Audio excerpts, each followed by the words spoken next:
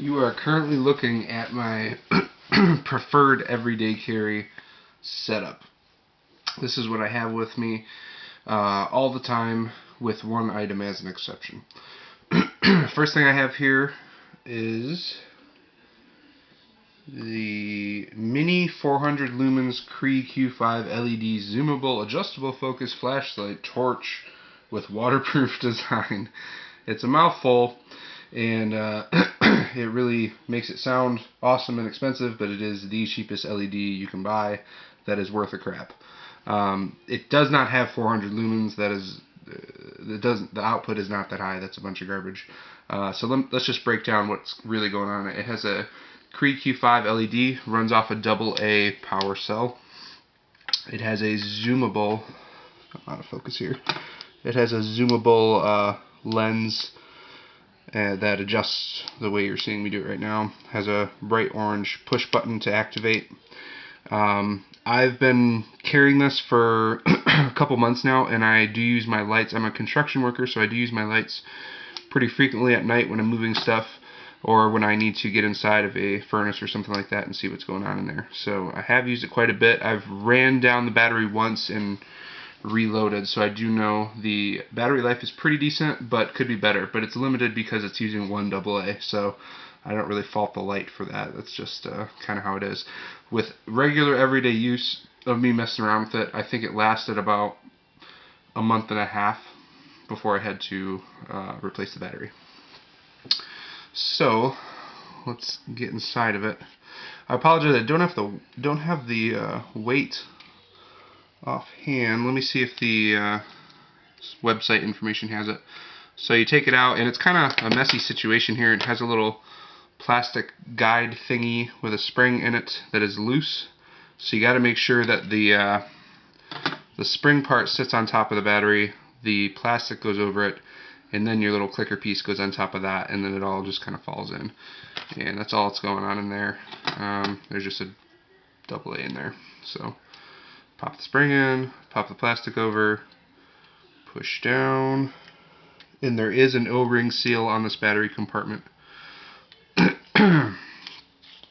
okay. Now that's all closed down. That's all there is to the light. Let's check out the throw. Um, so this is totally focused.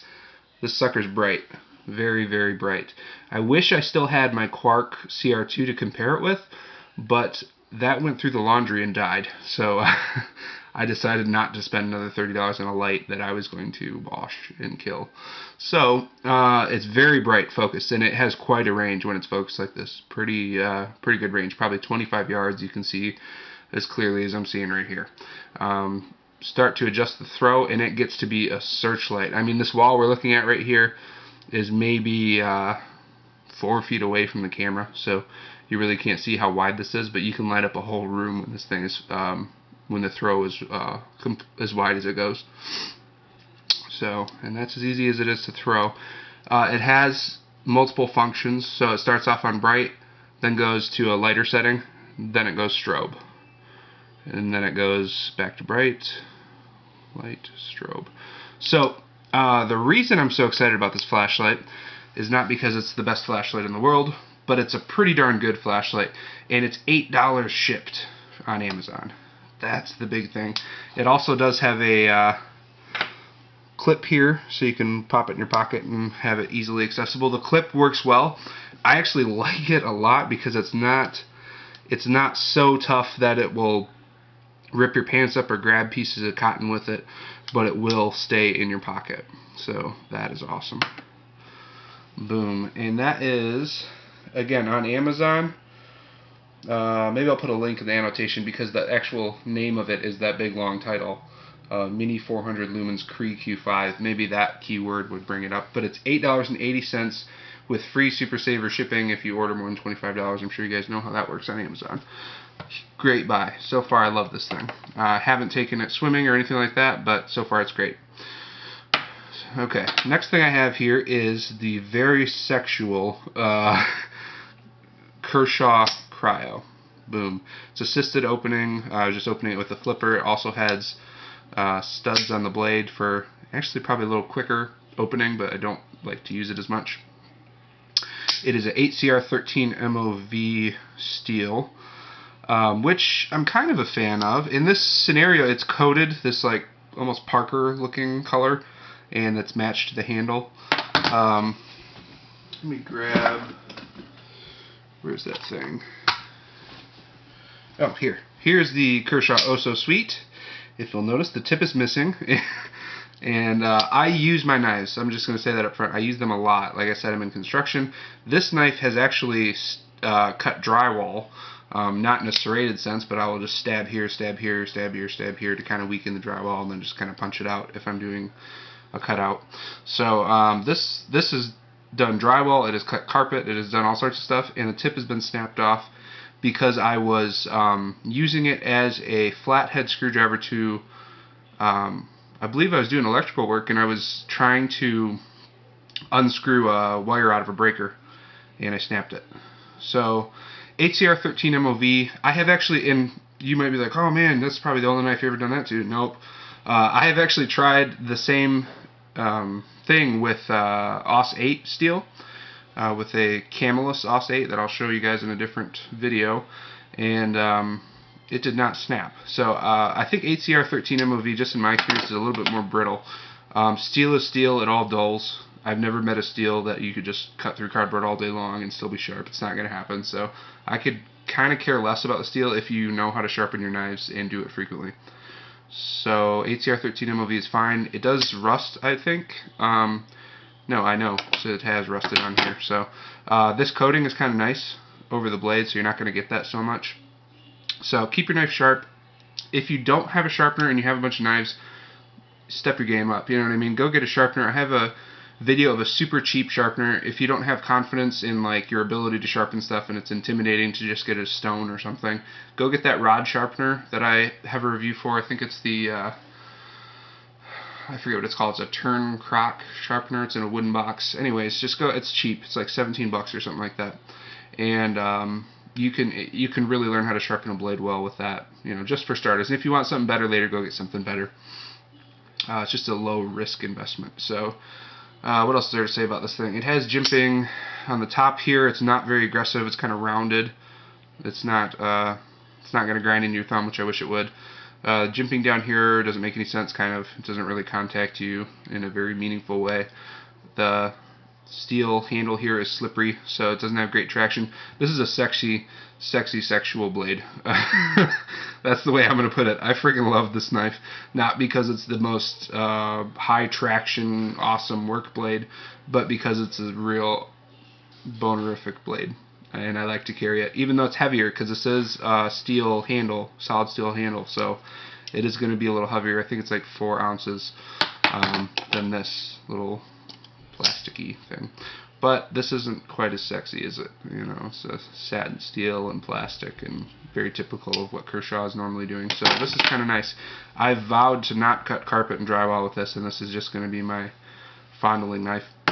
Alright, next on my everyday carry.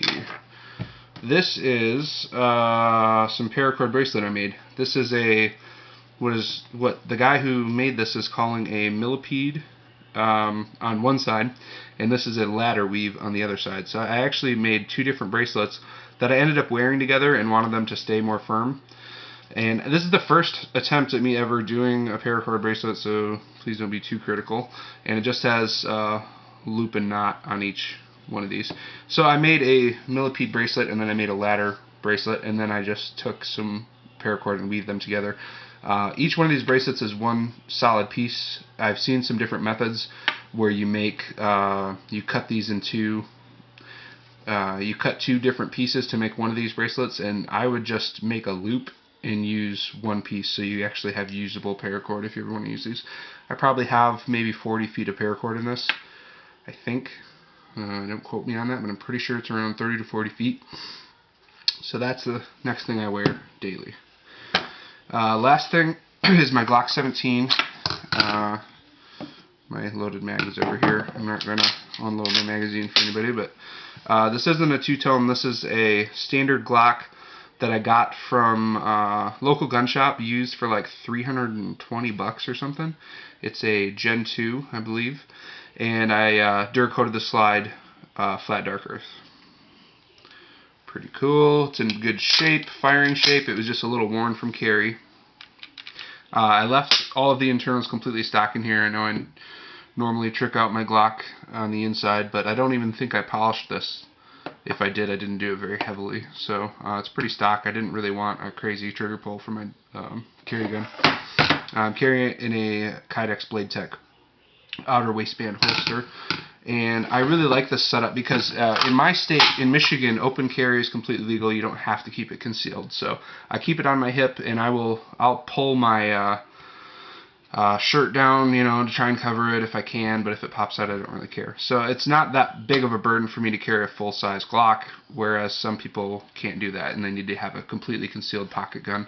Uh, it's cold here a lot too, so when you have a jacket or sweatshirt on, it's completely concealed, at least to here. And no one assumes, if you're not looking for a gun, no one assumes that this black thing sticking down is a gun. They don't see the handle, they don't see any of the top part. It's just a you know cell phone case to them or something. Um, this is the one thing that I said in the beginning gets left behind every now and then, and it's the truth.